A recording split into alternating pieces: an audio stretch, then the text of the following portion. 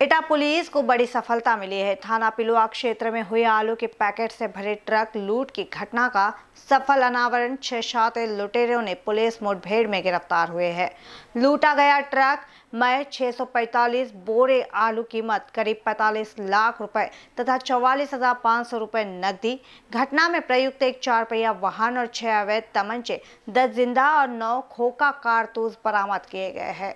दिनांक बाईस सितंबर को वादी श्री प्रेम शंकर उर्फ़ नीरज, पुत्र रूम सिंह, निवासी ग्राम धुर्रा, प्रेमनगर, थाना पाली, मुखीमपुर जनपद अलीगढ़ द्वारा थाना पिलोआ पर सूचना दी गई कि दिनांक 21 सितंबर को वे अपने 14 टायर ट्रक में 645 पैकेट आलू के लोड कराकर अलीगढ़ से कानपुर जा रहे थे। वहीं पिलोआ क्षेत्र में जीटी रोड पर एक सफ़ेद रंग की सफारी गाड़ी पर सवार चार अज्ञात व्यक्तियों ने उसके ट्रक को ओवरटेक करके ट्रक रुकवा लिया और उसे और परिचालक को वहीं उतारकर ट्रक लेकर फरार हो गए। इस घटना पर पिलुआ पर भारतीय दंड विधान की तीन धारा के तहत मामला दर्ज किया गया है। प्रभारी निरीक्षक थाना पिलुआ और एएसआई पिलुआ द्वारा फोर्स घटनास्थल पर रवाना की गई और उच्च अधिकारियों को इस घटना की सूचना दी गई।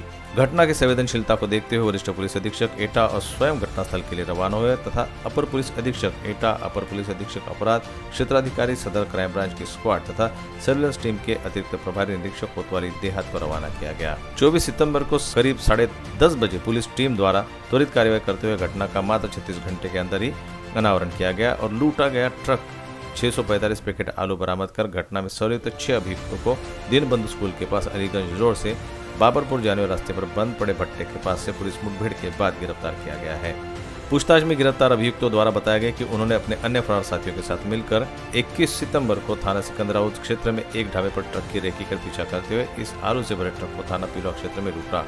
चालक और परिचालक को वही रास्ते में बाँध कर डाल दिया। आज उसी माल को बेचने के उद्देश्य वे सब यही खड़े थे। इस घटना में जो गिरफ़्तार हुए हैं, उन अभियुक्तों का विवरण इस प्रकार है। प्रभाकर मिश्रा पुत्र ठाकुरदास निवासी सिद्धपुर, अरविंद सोलंकी, पुत्र रविंद्र सिंह निवासी सरावल, प्रवीण पुत्र अवधेश कुमार निवासी सिद्धपुर, धर्मेंद्र यादव, पुत्र रामसेवक निवासी बुनपुरा देवेंद्र यादव, पुत्र रविंद्र यादव निवासी उपरोक, पवन मिश्रा, पुत्र राकेश बाबू निवासी सुदामपुरी, कासगंज। तो वहीं विपिन यादव, ऋषि मिश्रा, लोकेंद्र यादव राजन यादव, बाबा यादव ये अभियुक्तगण फरार घोषित किए गए हैं। इस मामले में विभिन्न धाराओं के तहत मामला पंजीकृत किया गया है। किया जा रहा है? क्या है पूरा मामला?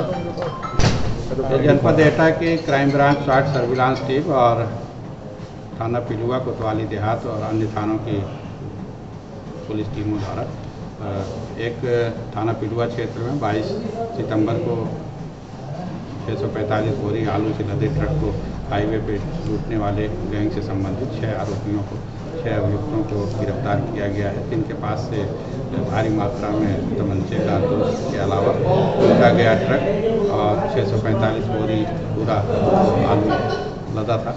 वो माल बरामद हुआ है। पैंतालीस हज़ार रुपये की नकदी जो उस ट्रक में मालिक द्वारा रखी गई थी, वो भी बरामद हुई है। और जो घटना में इस्तेमाल चार पहिया वाहन था बदमाशों द्वारा, वो वाहन भी बरामद हुआ है। ये सभी आरोपी जो गिरफ़्तार हुए हैं अत्यंत सातिर किस्म के अपराधी हैं और पूर्व में ये जनपद एटा के अलावा कासगंज या दूसरे अन्य जनपदों में भी हाईवे पे इस तरह की ट्रक लूट या अन्य गंभीर वारदातों में शामिल रहे हैं। इनका लंबा आपराधिक इतिहास भी है और ये बहुत संगठित गिरोह है जो हाईवे पे इस तरह के अपराध करता रहा है। इनसे पूछताछ के बाद इनके कुछ अन्य अपराधियों साथ, साथियों के बारे में जानकारी मिली है। जो अभी कुछ लोग फरार हुए हैं उन पर पच्चीस पच्चीस हज़ार रुपये का इनाम भी घोषित किया गया है और शीघ्र ही उन पर और धनराशि का पुरस्कार घोषित करने के लिए वरिष्ठ अधिकारियों को संस्तुति भेजी जा रही है। इनको जल्दी ही जो फरार अपराधी हैं पुलिस टीम गिरफ़्तार करेगी और फिर इनको अंतिम निष्कर्ष तक अंतिम अंजाम तक पहुँचाएगी। ये बरामद आलू जो कानपुर के लिए जा रहा था अलीगढ़ से और ट्रक पूरा जो लूटा हुआ सामान था इसकी अनुमानित कीमत 45 से 50 लाख रुपए की बताई गई है।